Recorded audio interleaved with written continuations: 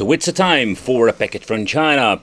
Yeah, so we're going to talk about this absolutely beast of a portable device when it comes to retro gaming and also arcade.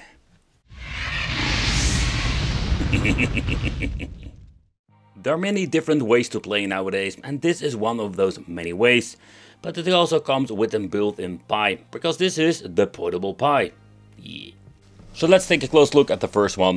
You have all kinds of different versions when it comes to the button configuration, the joysticks, but also when you're looking at the kind of software you're going to get. Both devices will come with the same kind of parts. And I mean with parts, extra buttons and a screwdriver because you need to assemble the ball top and tighten it up. Then of course we're going to get ourselves like the 12 volt power supply with a very long cord and a barrel jack connection because this is needed for powering on the device itself. But let's take a close look at the machine itself because that thing is quite nice. Very nice. I like it. I like it a lot. The case design is something they have been reusing for quite a long time now, but they did upgrade the eternal parts. So one of the features I think is pretty damn cool that we can also use the HDMI port for having different options. So at the back we're going to find ourselves different connections. We have an audio jack out, of course the input for the barrel jack connection, the power, the 12 volt, the SD card, depending what kind of model, and of course what kind of brand, because this is using, I think it's original SanDisk, but is the Ultra 128 gigabyte, and over here we're going to get different connections. Yeah, it's just a Pi actually that you're going to get at the back, but we do have like 4 ports that we can use for extra controllers, and of course the RJ45 connection Ethernet for connecting it with internet. They also implemented an extra fan for getting some cooling. But the overall quality when it comes to the case, I really like it because it's made out of full of metal. Also when you're looking at the hinges over here, it's metal, so it's not like cheap plastic fantastic. The overall quality is really great to be honest. And of course, it's a portable device, so what you can do is removing, yeah, okay, removing, removing this cover, come on, there we go. And here we can implement the batteries, so make this thing really portable and giving you a couple of hours of playtime. The only downside is that we're not going to get ourselves most of the time batteries do. I think it's do with transport and batteries, it's not allowed. So what you're going to get is nothing. So you need to get yourself like these 18640 batteries. Take note, like finding original ones is going to be a challenge. So yeah, good luck with that. So I wish to just like implement them complete so it would be so much more easier just to plug and play, charge this thing and go. But how this case works is quite genius. You need to remove the ball top that also locks the system itself. You can just open it up. I must say there's quite a nice resistance to it so you don't need to be let's say afraid that it's going to be dropping down. And then we need to assemble the bar top the ball top. I need the bar top, the ball top, but okay. The thing is, also when you're going to assemble the ball top and you want to tighten it up, you need to remove the four parkers over here. And that's the reason why you're going to get yourself like a screwdriver. Okay, but when you're looking at the device itself, you have different versions. So we have also like the full Sanwa kit, but I think it's worth money because, you know, the joysticks they're using are okay. I do love to call them wiggle stick because they don't have like a very nice feel to it like a Sanwa. And yeah, the buttons, man, the buttons. They are not super bad or something, but I've been playing a lot with them. But they do have like this very cheap feel click to it and a very long travel. And I'm personally not the biggest fan of this. But let's take a close look at the other one. The configuration is almost the same when it comes to the case itself. But also the resistance when it comes to the hinges is all like all the same. It's exactly the same box. The biggest difference are the buttons and the joystick. And I can tell you that a couple of dollars you're asking, in my opinion, is really worth it.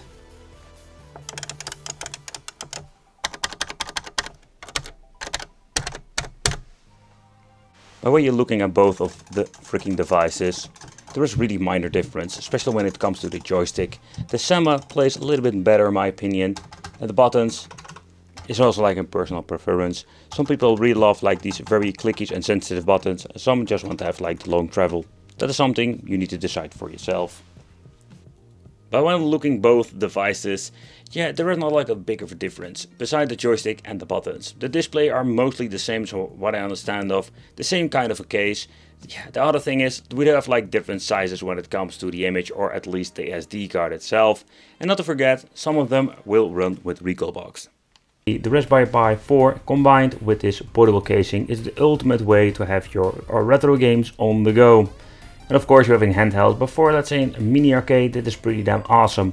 because the Raspberry Pi 4 is just one mean retro emulation machine. This is giving us way new possibilities for emulating, let's say, newer systems like Dreamcast, PSP, PlayStation 1. A lot of systems that were not running very good or not at all on the Raspberry Pi number 3. So that is a big improvement.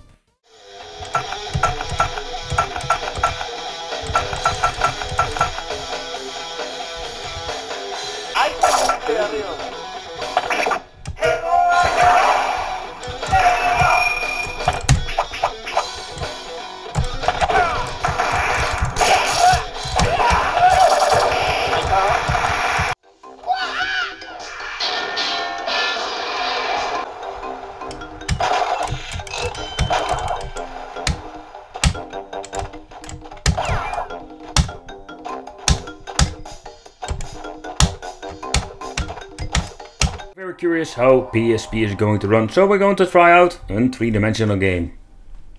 But did notice that there's quite some sound difference between the emulators, so that's a little bit of a disappointment.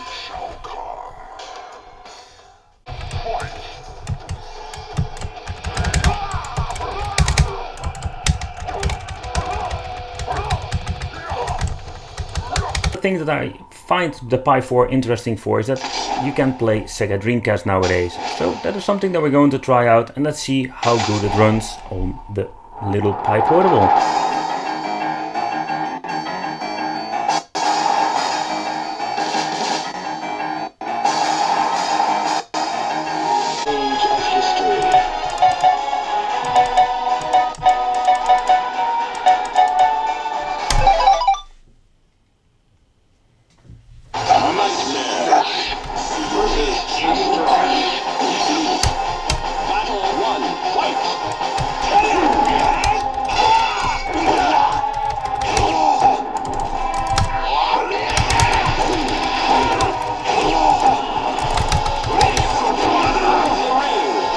With round 2 we are going to switch with the HDMI to TV out. So let's see how that looks.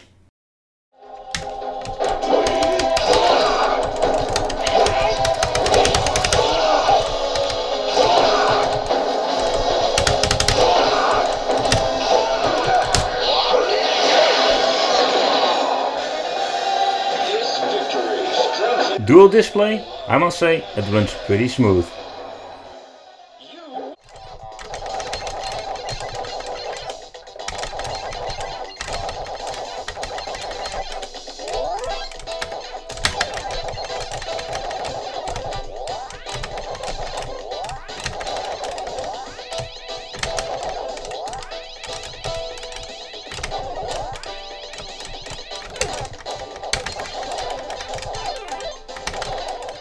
Time for some Mortal Kombat on the arcade and let's see how it runs with the dual display.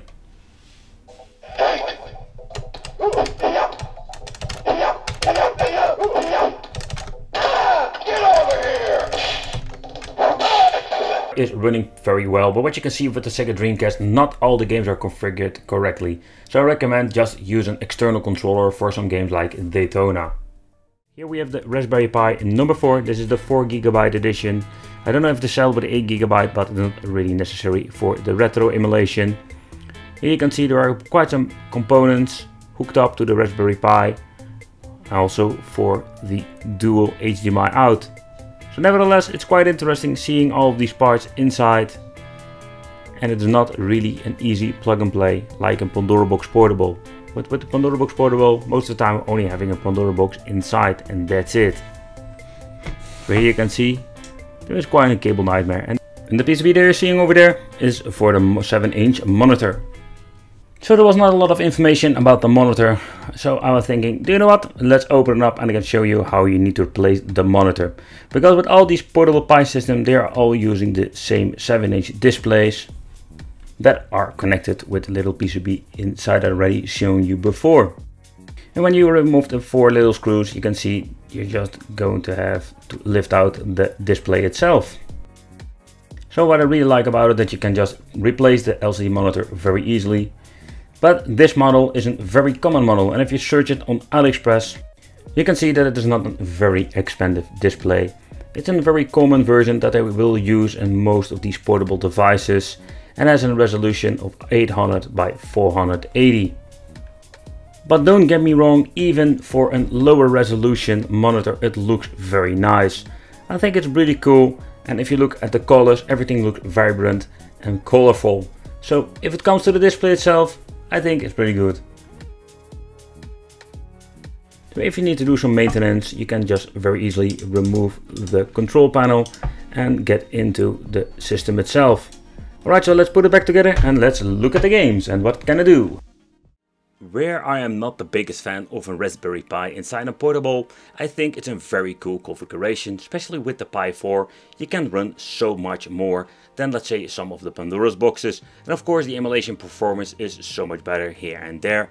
Let me know in the comments what you think of a Pi inside the box, bring it with you with this kind of a portable arcade. Thanks for watching, consider subscribing, hit the little bell, and it would be great to see you in the next video.